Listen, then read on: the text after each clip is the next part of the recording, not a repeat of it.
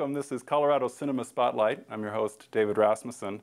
This month we're talking to Colorado filmmaker Leon Welling. Welcome, Leon. It's nice to have Hi. you here. Great to have you here.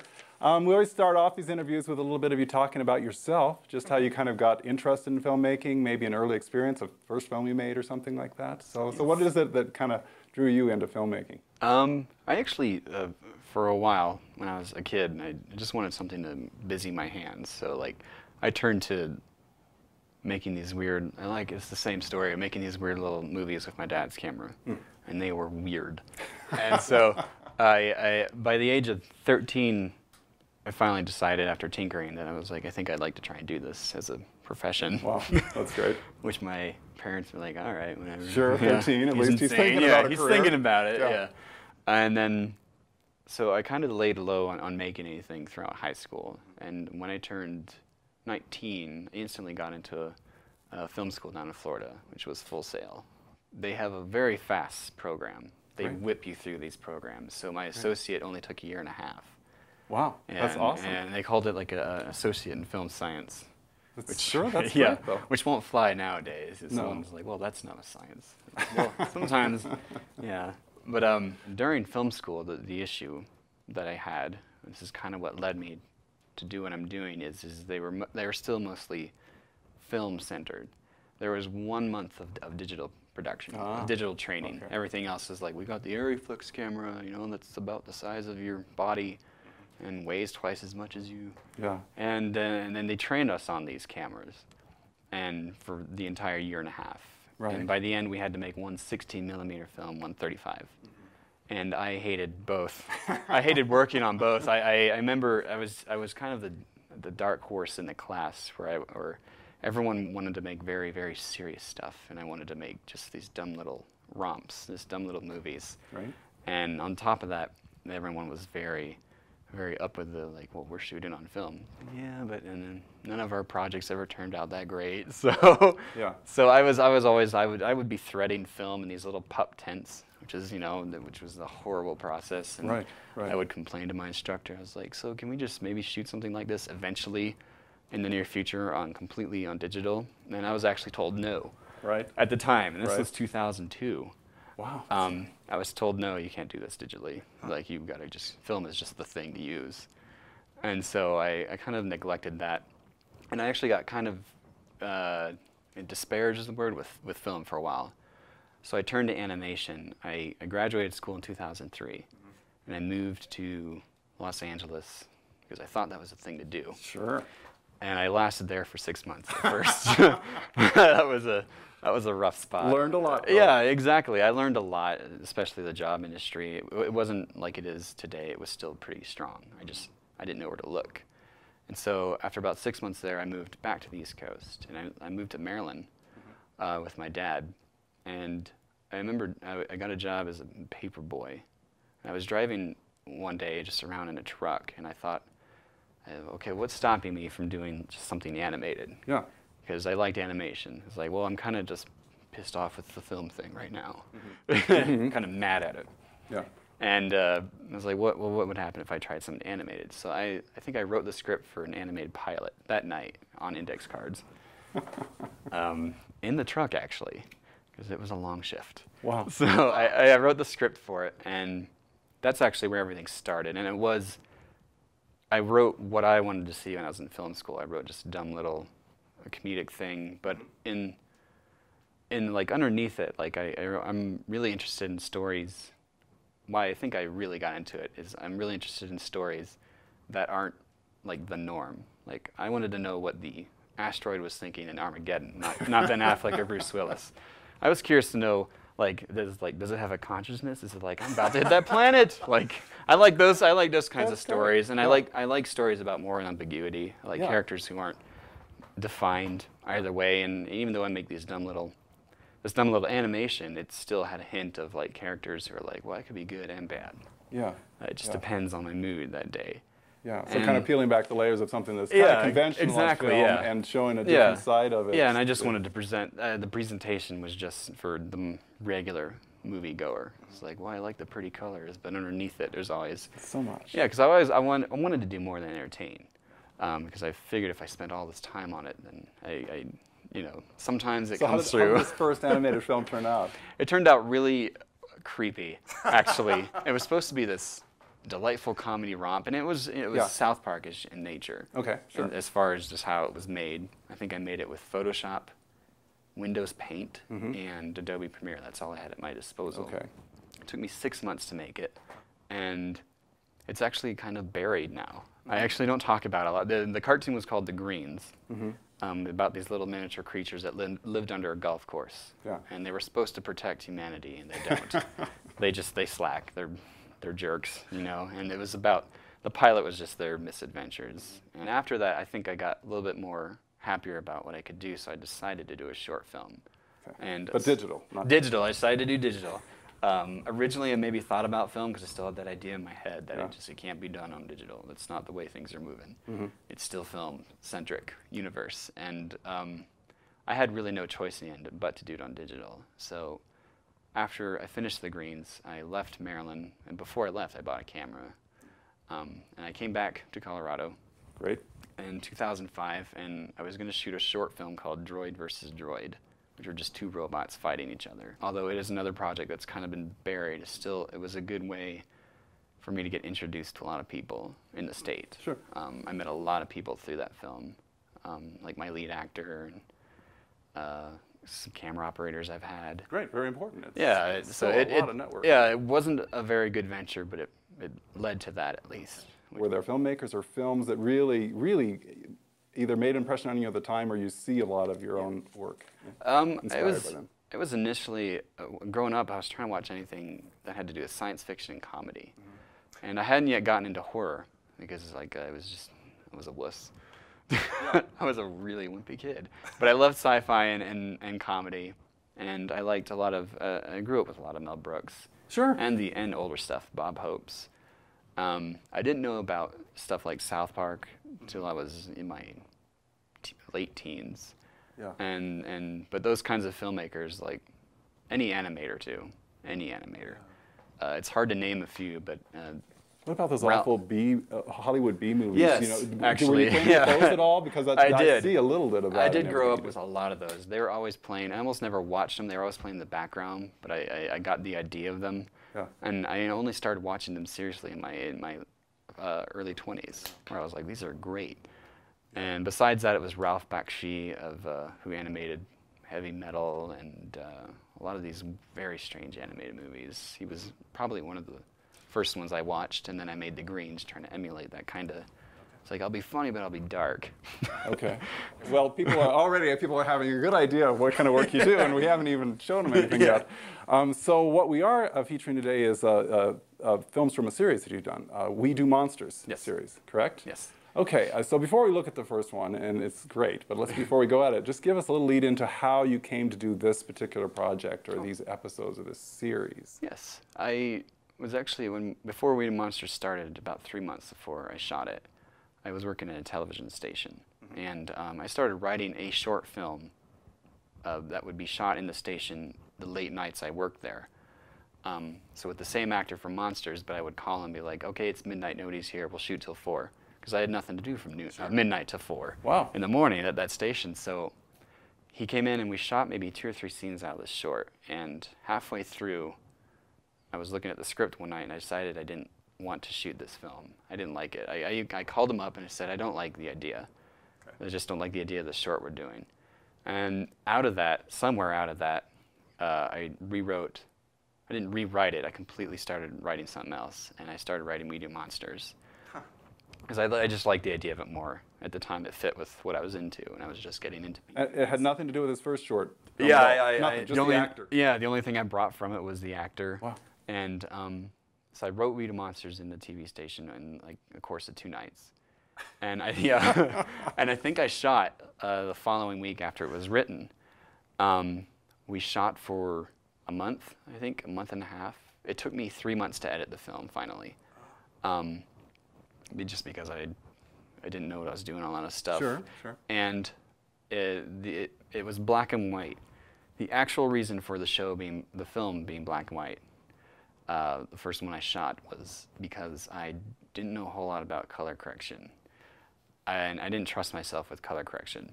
Sure. And again, I was in my B movie phase, so I thought I was like, well, this has that feel. So I'll toss the Great, black and white yeah. on it and not have to worry about color correction, and I'm done. because I was already worrying about the effects that were in the Yeah, in the film. yeah. So So at what point did you realize it was going to be a series instead of just a film as you started, right from the start? no, I, I had kind of in the back of my head that it could be continued as, Okay. as something bigger. Okay. It wasn't until 2008, after Monsters actually became a pretty popular short film, uh, Mm-hmm. it had aired on IFC, it had played in like three or four film festivals, Okay. that uh, some people I'd work with, including the main actor, came to me and said, well, could we turn this into a series? And I said, I, I can. I said, I hadn't, I hadn't thought about it in a while, but I can. Good answer. Yeah. Absolutely the right I answer. said, I can, I can try. And in late 2008, it, it took about four weeks to write the first season. And the second season was being written while we were shooting. So Okay. and that's how it was kind of birthed. It was kind of just this congealed mass of like, well, I guess we can scrape something out of it. Yeah, but still, there seems to be an Yeah. overall concept. You seem to Yeah, have a I grasp mean, on it from the beginning, as yeah, opposed back to just in- really. Yeah, back in back in my head, I, I knew when I finished a short film that it could be something, it could be expanded on. I think that's all I ever Sure. told Nate, who's the lead actor. Right. It's like I know it can be expanded on, I just don't know where it's going to go. Okay. So we were we were quiet for about a year, and then 2008 came around. All right. very, very good to see it. Let's give them a look at it, and of course, there'll be lots of things to talk about after the film. All right. awesome. Yes. Okay, so here we go. We're going to look at this pilot from the series We Do Monsters by Leon Welling.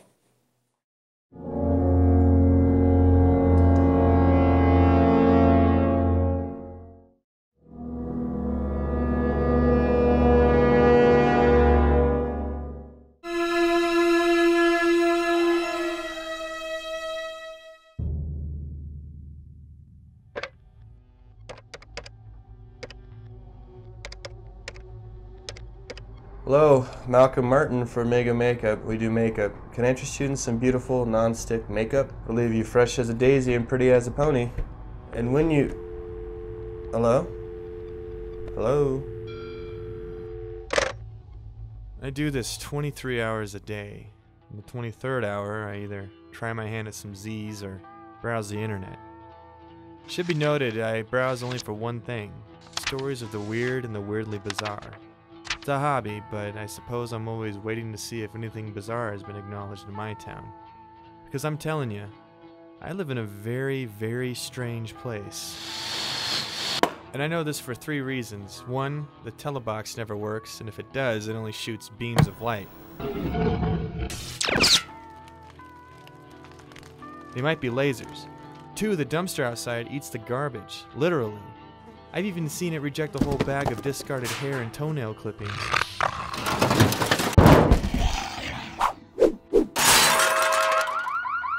Three, I'm thoroughly convinced the main office is a transporter to some strange place, and not the fun kind of transporter you see on Star Trek.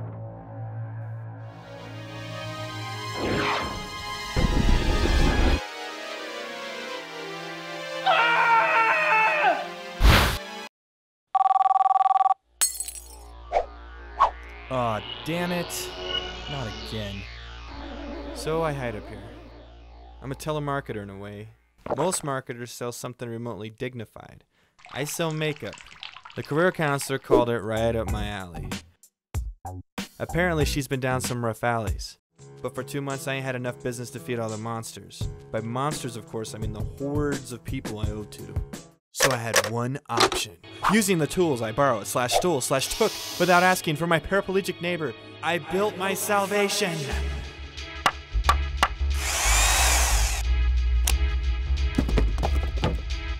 The Transmorgatron 4000. It'll simply send a slight proverbial grammatron impulse into the mind of the customer, just enough to jumpstart the part of the brain that buys useless crap for no reason.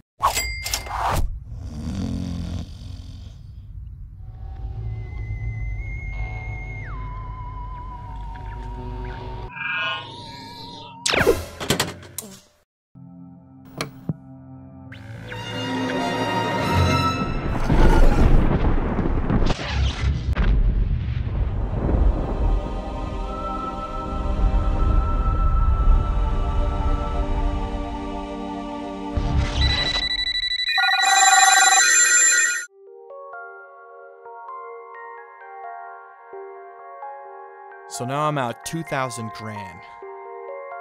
Ah! I need a drink. Whiskey, double.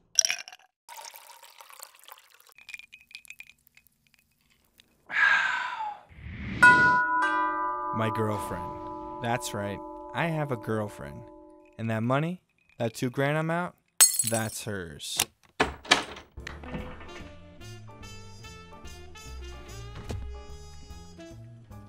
Look at her. That stupid butt, those stupid boobs, and that retarded stupid face, and that stupid lipstick, bright enough to flag an airliner. I gotta grab her throat and choke her till the lipstick goes blue and knock her other boyfriend down a peg by beating him with a guitar.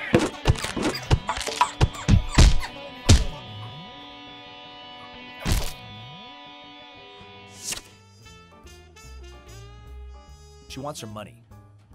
I don't have it. It should be noted, she has many boyfriends. This one's name is Knuckles.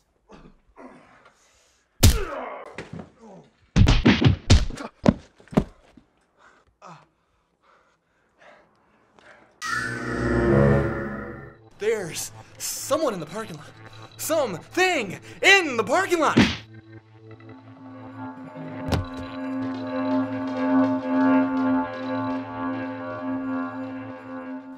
All I got is a dollar.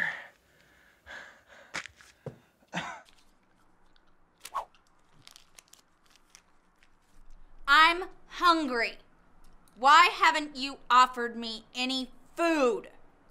Do you want some spaghetti? I'll take it to go. all of it. And they took it all. I mean, all of it. It can't get any worse.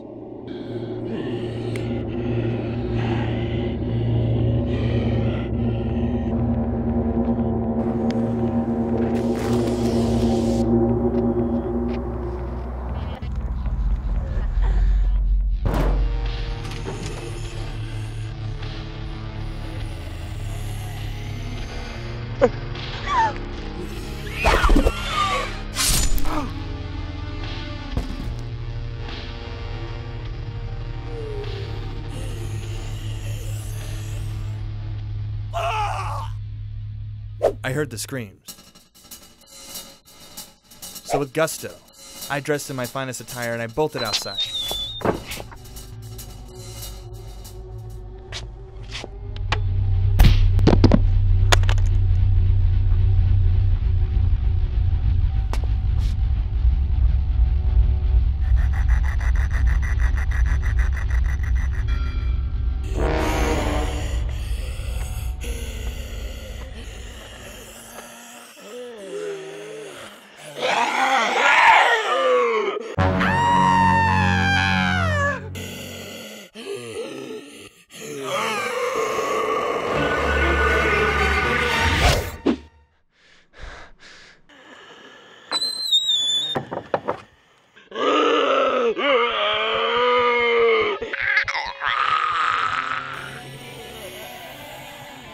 Zombies. Tell the zombies, and it's my fault.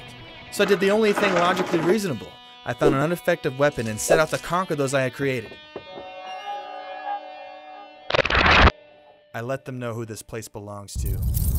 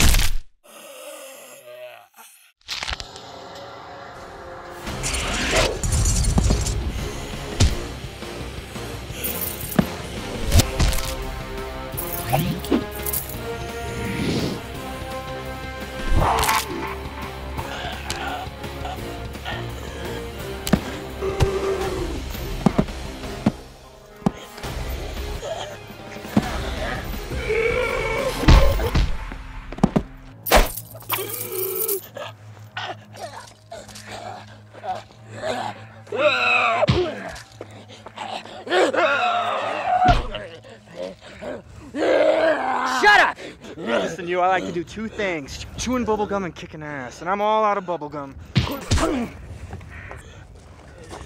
now run off and tell the rest of your friends.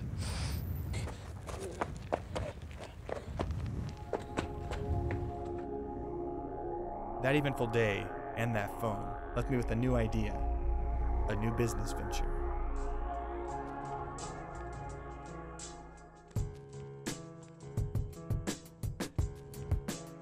I've been getting lots of phone calls, lots of people who know what I did and claim to have threats of beasties of their own.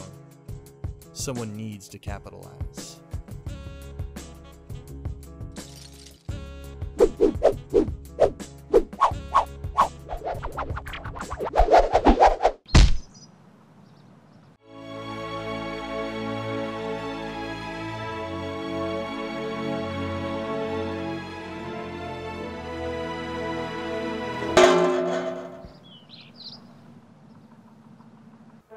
Be the guy to call. When the devil needs hanging, I'll tie up the rope. This is Malcolm Martin. We do monsters. Yes. Yes. Yes.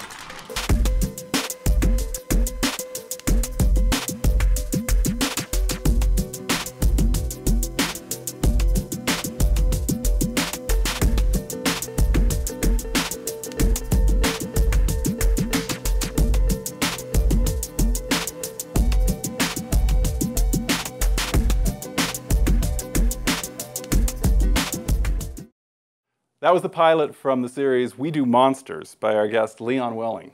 Good work. Good job. Okay, before we talk about it or you tell your side of it, uh, what's the general audience response to this kind of work? Uh, the response has been actually really overwhelming, uh, at least for that for that piece, for that pilot, because uh, as I said, it was a short film first, and it had gotten into IFC.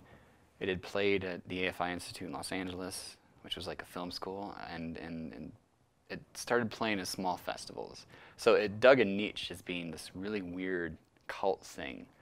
Um, I did have somebody on a, on a side note to a Halloween party two years ago show up as Malcolm Martin. he knew me. He, he somewhat knew me, but he had watched the film, and I asked him, I was like, "Who are you?" He's like, "I'm Malcolm Martin from Monsters." oh man, that's when you know it's. And It's uh, popular, yeah. and it had played in like some very obscure like art fests, but it was a Mm. background piece. So they wouldn't roll sound; they would just want something. But, but do people like it because it's funny or Yeah. because it's scary or It's because mostly it's the- real? Yeah, it's the humor aspect, I think. Mm. Um, um 'cause I definitely, I, I'll rewatch it and be like, there's not a whole lot of scary stuff in this, but it is funny. Yeah. I will still laugh at it. And I, I tend not to watch my stuff after a long time. Um, but it, it had legs. It, it carried Right, for a very long time. Are people ever offended by it? You know, some of the violence, some of the anything like that? Um, sometimes I want to say I hope so, and sometimes I hope not. like, uh, I, I, it's definitely not as uh, offensive as Right. the previous cartoon I had made. It was Mm. actually much more family friendly, Yeah. Believe it or not. Well, I think something that might kind of throw people off is because it obviously is very funny, and Yeah. in some ways it seems very, you know, sim- simple-minded. Yeah. But obviously the filmmaking and and and the way it, there's just this huge range of creativity throughout the film. That is what makes people think we got somebody who's just really unique here, and they're doing this kind of filmmaking, and it seems uh, an interesting cross yeah. or combination. Uh, so let's see. Uh, let's talk a little bit more about the filmmaking of, a, of, the, of the pilot like this. Okay. Um, you already talked about it being in black and white, and Yes. that's an interesting explanation Yeah. of why that happened. Obviously, Yeah. just kind of uh, odd choice. Um, but but when it comes to when it com- came to putting together this actual uh, film, Yes. did you plot it out very carefully ahead of time? Do you storyboard? Do you write down specifically what's going to happen, or do you have a very general, vague idea? What, what did you do for this piece? Um, I will write a script um, as a good starting point, but a lot of the times the juicier elements are in the notes I jotted down, something I forgot to write into the script, and I'll have those, and I will be, I'll have a very, I had a desk on on the on the show a lot of the times, or like just a little place where I'd keep my laptop, and there was always stuff scattered around it, notes here, you know, there was an outline somewhere of one episode, and eventually, I kind of throughout the later half of the show, I abandoned that. I just I would Okay. come to set just with things in my head like, that I knew we were going to do. Um, we always had a script there, though. The only thing I'm a big purveyor of is always having a script there, obviously. Yeah. Um, mostly, not even just for the actors, just for my sake. Um, So do you end up with a lot of extra footage afterwards Yeah. that you don't use? I tend to overshoot incredibly. Okay. I overshoot. I think Monsters had about 63 hours of overshot footage that I have not used. Okay. So it's 63 outer, hours of, of just this random stuff that Yeah.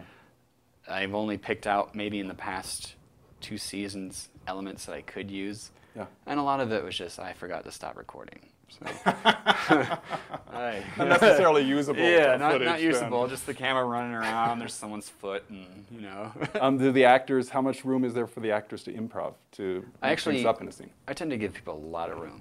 Okay. For improv, um, there's actually, I want to say 65% of that script was improv.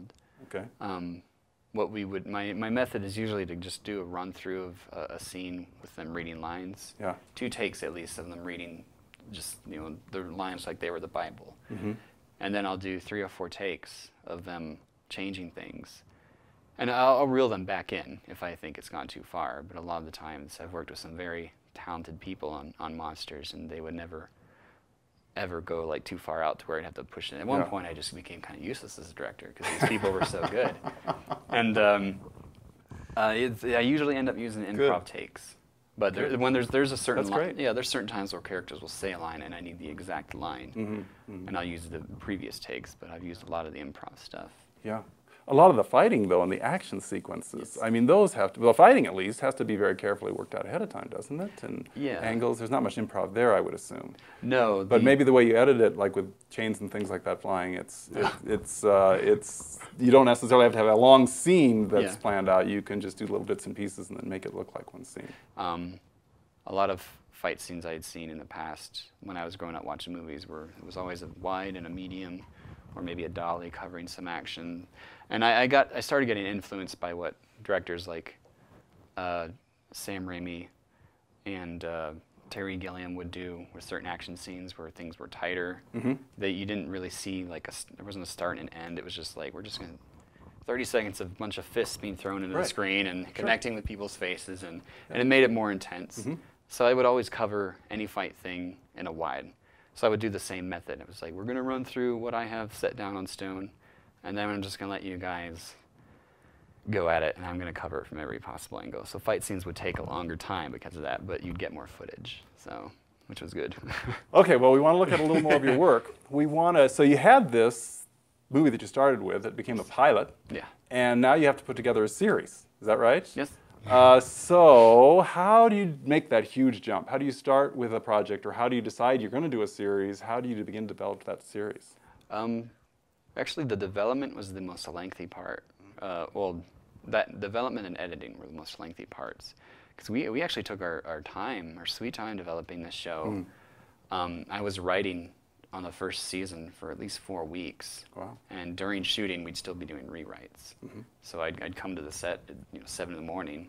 We'd talk to my lead actor Nate. He was like, you know that you know three, four pages you memorized? I just got rid of them, and here's that one line. like, yeah. And um, the thing about web series is it's a really undefined territory. It's really it's not it's, it still has like no parameters. Um, I've seen web series online that will go past the 12 minute mark, which they say people will lose track and do 30 minutes of a web series. And that was one of our developing things. Or like, how long do the episodes last? Do we make them contained within themselves, or do they continue off? And eventually, the biggest decision was everything continues off of itself. So you're only going to see six minutes of a clip before it, it'll take us, you know, a few weeks to get a new one out. But they all drew off the previous episode. Okay. And that was the that's actually what took the longest to develop. And uh, in the beginning of the show, beginning of the series, we kind of had a set Bible of how we were going to do things. Okay. Um, and it just uh, that fell to pieces actually through Really? the entire. Yeah. Everyone got Yeah. more comfortable doing uh, like reading it as mostly as a guideline, but not following it directly. So the show was constantly evolving. It continues to evolve through post. right, right, right. But the series is broken up into what kind of sections? Do you have like seasons per Yeah. se with so many episodes, and then you hope for so many seasons, or how do you structure it? And the That was the that tough sense? thing. Mhm. Structuring the show uh, wasn't even done in development or shooting. I had to do it in post because we knew we wanted to continue things, but we didn't know what episode was going to fit into what season. And eventually, I decided upon six episodes per season. I think there's six or seven to each season. Okay. And the first season dealt with mostly Bigfoot, and then the second season dealt with uh, a couple other monsters. But each one was connected to each other. Okay. So actually, the first and second season scripts are one massive script. Okay. Because I think one of our choices in the beginning was like, let's just do like a really long, hour-long debut. Because they, they fit, and that's what's cool Mm-hmm. about the, the show in general is like it could be these little segments, and they, they can be meshed together Right. to fit into a like an hour and a half feature almost, Okay. or just this debut. And then the third season, we were when we talked about doing the third season was going to be more divided, but Okay. it ended up everything just got divided. Okay. It was like Okay. a numbers game. It went. well, I'm sure it's hard to describe, but just the way you talk about it gives us a really idea of how complicated it is, Yeah. but also how you work in it in little bits and pieces, and, Yeah. and with luck, things kind of come together over time. yeah, exactly. Okay. Oh, well, okay. So the next thing we look at is going to be just a little bit of the first episode. Yes. And the first episode is called A problem with Problem Bigfoot. with Bigfoot. Yes. Okay.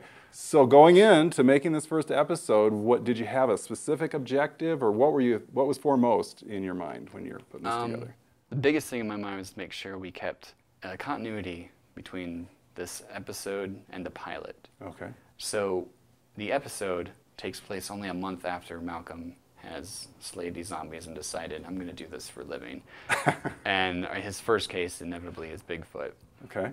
And um, that was like the only major decision. It- major thing I was good. worried about was was making sure that this was just coming off of his his zombie thing. It wasn't like years later, and he was a pro at it. We wanted to see him in a very amateur stage. You know, he can't even hang up his own flyers in this episode.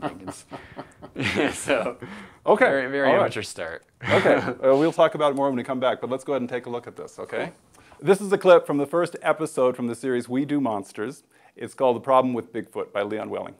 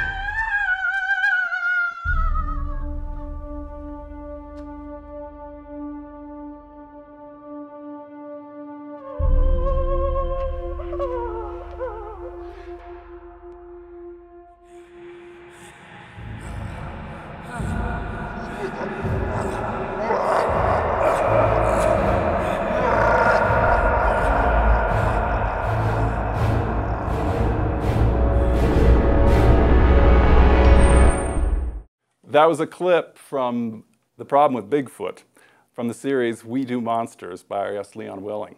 Great, really interesting. Yes. Okay, sorry we couldn't show the That's whole thing, but I'm sure right. everybody else is going to want to go out there and watch it now that they've seen the first part.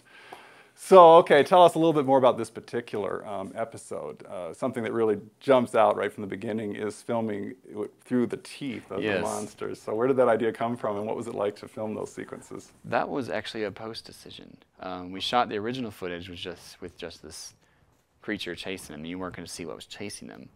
And I got into post and I decided I was like, uh, I'm going to shoot this through its teeth. And Nate was there with me, the lead actor. He's like, you want to what? I was like, I want to shoot the, the chase just through Bigfoot's teeth. And so what I did was I got a green screen, and that's actually a, a oh. werewolf mouth mask.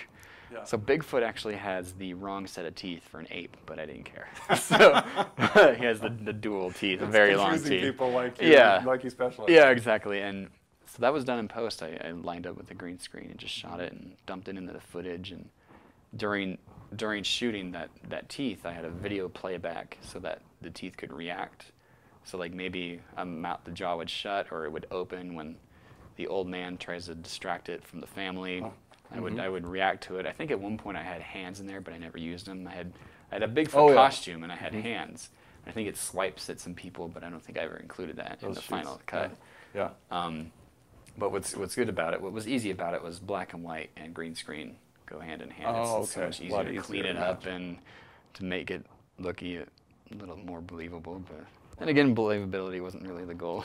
Yeah, well, no, but it's very high interesting uh, realism. Yeah. Yeah, yeah, and it doesn't scare people at all. It, again, it's that Yeah. it's that weird discontinuity. This is Yeah. really purely funny, but we're talking about Yeah. these people that The funniest effect is actually the stick in the, the son's chest. He gets in, he gets impaled by Bigfoot.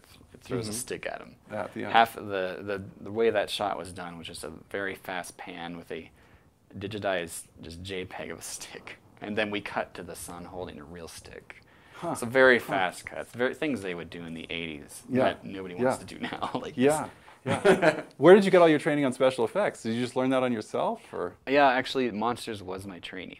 Um, I had to do before that pilot episode. I had to do a, an actual amount of research. I bought books, and I had to go back as far as 1989 when they were still doing matte paintings on glass mm, for, mm-hmm. for a lot of projects. And I thought, it's like, well, I can do that, but I have programs I can do that digitally. I don't have to build the sets now, Right.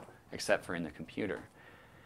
And so every every effect is essentially done in the computer now, um, with the exception of live elements like the teeth and the green Yeah, screen, yeah. stuff like that. Um, a lot of there's a ton of matte paintings in the series that are completely replaced environments. I think there's a scene in one of the episodes where Malcolm's in a truck driving out out west or out east Colorado, and out east Colorado there is nothing, but in the in the far ground there are mountains because they're supposed to the family is supposed to be living near the mountains. Okay. So I I just keyed in mountains, and, then it's a it's weird what you can do with stuff that used to take Yeah. uh, literally hours, and you would have to build miniatures of it or something. Yeah. It's now like I just got a JPEG. And a little bit of color correction, Yeah. maybe, even though it's black and white. So. Well, of course, another big aspect of the films, the really interesting aspect of the films, is the sound. Yes. All the sound effects. so, can you tell us a little bit about that? Are they like the special effects? Do you put them in afterwards? Do you know what they're going to be at a time, or do you decide afterwards? I need another shriek here, or something Yeah. like that. Well, the way that the sound effects are, are definitely all of a post decision. Um, sometimes there's certain sound effects where I know uh, during shooting how I want this to sound. Um, the biggest uh, thing that monster I wanted to advance with monsters was to have almost no camera sound. Um, I, I just I didn't want that lackluster feel. I, I would I, I'd seen like a, a few previous smaller independent films which had not and they were action independent films which had not done really any sound work and any foley and um, I'm a big believer that the, the audience will sit through anything as long as it's got good sound um, as long as they can hear actors talking as long as they it feels as long as it feels more dynamic. So I wanted Yeah. monsters to actually have more of a dynamic even though it was a low budget indie production that was the aspect that actually to this day a lot of people comment on is the fact that the sound is dubbed there there's foley there's there's stereo sound effects you know there's sound effects panning left and right which things uh, things i would not have done in my earlier short films. Where i was like yeah whatever that sounds good know? Yeah. so it became a level of detail it is like painting a, a very large picture Right. with a very small pen Yeah. yeah. but again, that's all post filming Yep, that work. is all. It's all a post decision. A lot of time, Yeah, lot of about time. ninety-five percent of the sounds I add are just done right on the, uh, on in, in post, like on the fly. I think five percent I knew what they were going to be beforehand. Yeah, And yeah. it's it's hard recreating certain sounds that you want to hear. Yeah. You know, Is there I- a specific one you can remember where you didn't have Uh, the? Bigfoot roar was the tough one. Okay. I didn't, and I, and I didn't want like a stock sound effects. Um, so I actually had a problem figuring out what his roar was going to sound like because I wanted something somewhat different. And the answer was literally the easiest thing. It was you layer a, a group of sound effects. So I would layer. I think I layered Bigfoot with a lion, a seal, a dinosaur, a brontosaurus sound effect. So he's got he's got at least two other five five vocals for his his one vocal, and it, but it added more of a creepier design to his roar. The only thing that ever like I could say would be specifically scary in the show is is when Bigfoot roars, hmm. because it's just very piercing, very like non-human kind of Yeah. thing. Which I I remember playing it back, and even Nate was like, "That's a scary roar." it's like that's like the only scary thing in the show. Yeah, again, really freaking Yeah, people out, yeah. confusing them. Yeah, exactly. They're laughing and all of a sudden they're scared. Yeah, exactly. So Right. Okay, well, and one other aspect, kind of along with the line of the special effects, is the animation. yes. Um, now, I don't think we've seen a lot of anima- animation in these clips. Yeah. But you've done some animation, Yes. Um, the show, towards the end of season one and especially in season two, is, is integrating a lot more animated. Just either with if there are segues or if this is like a joke. I think in an episode of season two that's forthcoming, somebody fires a gun and I actually cut to a animated shot of the bullet screaming. It's got the cartoon eyes like ah. Uh, it, it, goes. Season two is kind of just becoming like a very over the top, Okay. much more over the top than the first season. Which is hard to believe, but I'll take your word for it. yeah, we're starting. I'm starting to integrate more of that that kind of stuff. The end of season one had some animations. There's a particular episode that talks about what the guy, one of the characters who accidentally killed Bigfoot's pal. That's why he's so mad. We have a whole animated sequence dedicated to who he is, basically, because I, I needed, I just wanted to divulge information. He fought in Vietnam, you know, he's killed small animals, but we did all this stuff in like an animated segue, and certain things are certain small effects are uh, animation like the character that comes out of the phone is completely animated by hand sometimes Yeah. very very very very tough animation Sure, sure. It's hard. It Yeah, time. and- it's slow, long, yes, long time. It's a slow process. It does enable you, and animation in general enables you to have an incredible amount of control. Hmm. Um, there's like there's no there's almost like there's no limit to what you can do once you start animating. I could have gone bigger with the character's backstory animated if I wanted to, and and he was because it was all just a digital painting and yeah. Yeah. but towards season one, the end of season one, the animation starts to become more prevalent. I think Okay. more noticeable, and then season two, it's just everywhere. Okay, so that's kind of the direction you're going. Yes. Yeah. In fact, you've done a music video recently, right? With Yes. animation in it? Yeah, I did it. I completed a music video for an artist called Wumpscut. The video, the song was called "The Wreath of Barbs." Um, I started doing that video last year um, when I was kind of on a break from monsters. I, I all I, I I just heard the song, and it wasn't music I typically listen to, but I loved the song. And so I, I, I called up the guy who my sister knew. So I called her up first. I said, I want to do a music video for him. Do you think he'll let me do it? I won't charge him. I just like the song. And I'll tout it for myself as a short film. And he was totally okay with it. He, he gave me full creative control over everything. Um, because it's, he, te- he hasn't really, in his 10 year career, and he's, he's so huge in Germany, he hasn't had a lot of good professional videos coming out. Um, so I think it was just cool to see something like on that level. And, and the video is actually my high point of animation right now. It's, it's actually weird seeing what I did in 2004 with the greens, this Yeah. choppy animated in Windows Paint and Photoshop cartoon to this thing, which is Wumpscut Wreath of Barbs, which is like this very, uh, it's a serious piece actually. So people will watch it and be like, well, I don't know what to think of you anymore. Yeah. You're a No funny guy way. in the bar. Yeah. but this makes me, This you know, want to run away. Well, actually, we're going to take a look at it. Oh, You've good. given us a chance to take a look at it, and so we're going to show it. And Awesome. and so this is not going to be at all like we do monsters. This is going to Yes. be something totally different. yeah, it, it has like the just the, the elements of like there's a few Dutch tilts, which I is something I'm known for. I'm always doing Dutch tilts, but it's a very it's a pretty it's pretty obvious what this music video tries to present. I think as far as its tone. Okay. All right, let's take a look at it. I'm, I'm eager to see it. Okay. Awesome. All right. So this is a music video by our guest Leon Welling, Wreath of Barbs.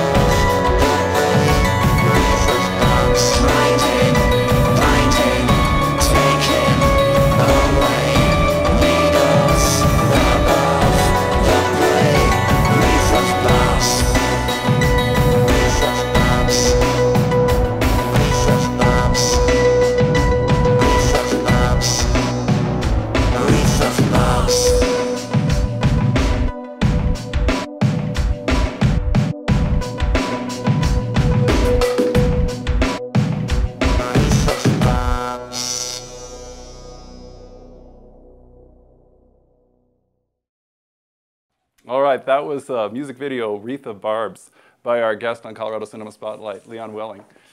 Great job. Okay, tell us a little bit more about this uh, about this music video. Um, the video was uh, completely um, different from anything I had done as far as how I planned it.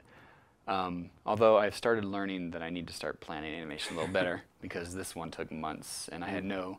Each shot was literally the idea was made uh, because I had an idea that day, and um, I would do normal things like I had the track laid out, the music track, and I would listen to it over and over again.